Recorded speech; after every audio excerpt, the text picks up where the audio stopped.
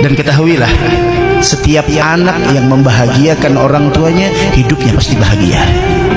Setiap anak yang memprioritaskan kenyamanan orang tuanya, hidupnya akan diprioritaskan oleh Allah.